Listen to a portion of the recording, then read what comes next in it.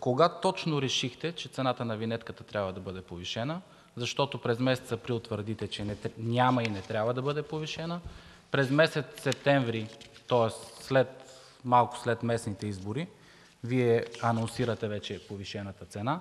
Кога точно решихте, че трябва да се повиши? Да, казвате, че от 8 години цената не е повишавана.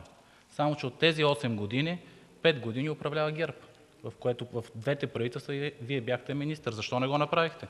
Още от 2004 година е препоръчано, когато има винетна система, тя средно между 5 и 10 лева годишно да се актуализира, именно за да не се правят такива шокови увеличения. Да, прави сте. Да, аз също го отчитам като грешка това, че не го правихме поетапно и ежегодно, а го направихме изведнъж.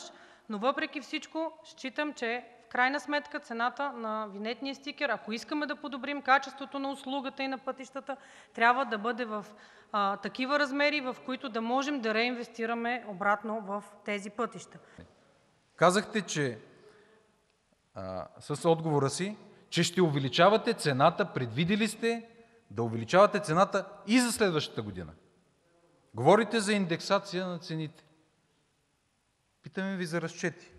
И отговора, който получихме, че около 150-200 милиона, Вие дори нямате и конкретните разчети, се събират от тези винетни стикери.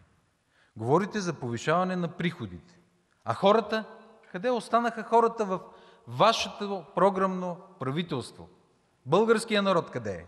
Държавата предоставя средно годишно 190 хиляди броя безплатни винетки по линия на социалното подпомагане за тези лица, които имат инвалидност и които имат право на такива стикери през Агенцията за социално подпомагане. Това е една инвестиция от средствата на Пътната агенция, която е средно над 12 милиона лева годишно за предоставяне на тези 190 хиляди автомобила, които се движат с безплатна годишна винетка.